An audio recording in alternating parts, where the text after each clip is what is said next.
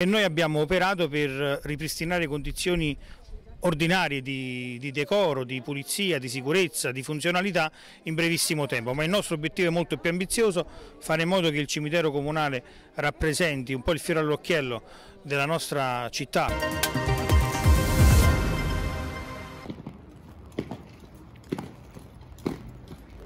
Dopo lo stop causa Covid, riprendono quest'anno le celebrazioni pubbliche in occasione della commemorazione dei defunti. Prime celebrazioni da sindaco ad Afragola per il neoeletto Antonio Pannone, che ha partecipato alla messa in suffragio dei caduti di guerra e deposto una corona d'alloro al cimitero alla presenza dell'onorevole Pina Castiello, di alcuni consiglieri comunali e di diversi cittadini. Un momento importante perché la comunità eh va ad attingere alla fonte della, della propria identità eh, storica, sociale, culturale e il culto dei defunti rappresenta ancora un momento molto sentito dalla nostra comunità, l'abbiamo visto in questi giorni di grande afflusso, il calendario ci è venuto incontro perché i visitatori si sono distribuiti attraverso più giornate, a partire già da venerdì scorso in pratica sino ad oggi.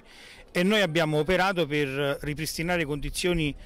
ordinarie di, di, decoro, di pulizia, di sicurezza, di funzionalità in brevissimo tempo. Molti afregolesi hanno apprezzato il restyling che si è avuto in, in questa occasione, come sarà possibile garantirlo tutto l'anno? Un restyling fatto in pochi giorni che deve essere come dire, da monito e da sprone per continuare lungo questa strada. Molti servizi vanno organizzati, razionalizzati, quindi con un nuovo approccio anche di metodo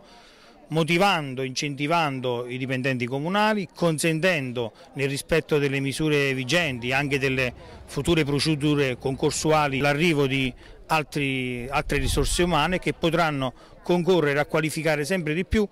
il volto, della, il volto concreto dell'amministrazione che è fatto di interventi, di vicinanza, di umanità, perché la struttura comunale non è una macchina eh, che risponde soltanto a dei comandi, è una comunità che deve essere messo in grado, in tutte le sue articolazioni, di rendere al meglio al servizio degli afragolesi. Erano presenti molti consiglieri comunali eletti, come ha ricordato lei stesso, si sa qualcosa sul giuramento che verrà per loro? No, noi attendiamo, come prevede la norma, il, la proclamazione da parte dell'organismo competente e credo che nei prossimi giorni, completato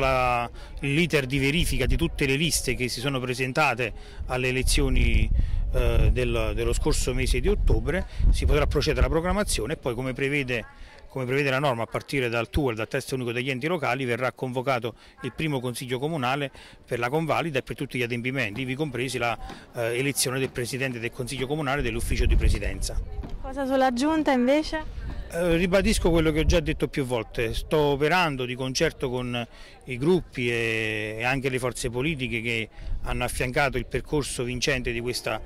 coalizione affinché si operi un sapiente dosaggio di competenza, professionalità, ma soprattutto passione civile, dedizione, voglia di impegnarsi e quindi anche una spiccata sensibilità politica che serve in una fase così delicata che è quella del rilancio e della ripresa per tutta la nostra comunità dopo circa un anno e mezzo, come ho ricordato dinanzi al Monumento ai Caduti, dopo circa un anno e mezzo di eh, sofferenza e anche di immobilismo per certi versi sul piano amministrativo connessi all'incidenza della pandemia.